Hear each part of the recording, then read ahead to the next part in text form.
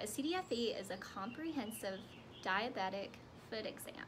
So if you're a diabetic, it is very important that you know what a CDFE is.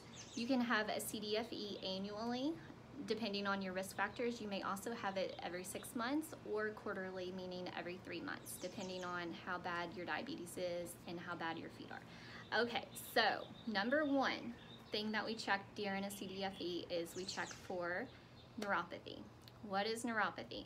So neuropathy is that term that you hear a lot of people say when they have numbness, tingling, burning, or no sensation at all.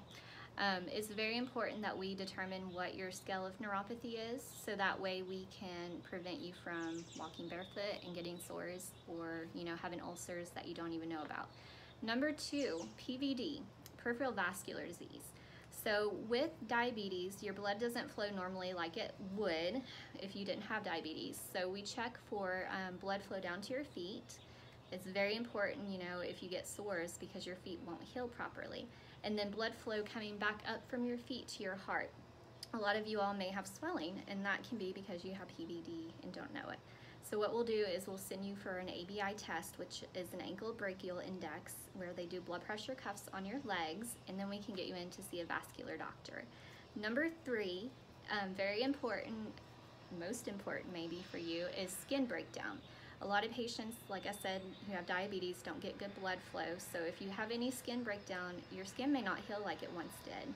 So we always check, you know, for any ulcers. Um, have you stepped on something? Is something stuck in your foot? You may have neuropathy and not realize it. Number four is um, foot deformities. That is something that a lot of patients have or get over the years. You know, you may get hammer toes, your arches may fall flat, you may have really high arches and have trouble fitting your feet into shoes. So it's very important for us to look at those risk factors. And number five, very important is that we look at your shoes that you're wearing. Are you wearing the correct size?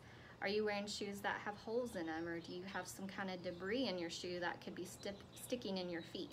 So all these things, you know, when you come for your CDFE, we will check. And if you have any questions, feel free to let us know and we'll see you at your next foot exam.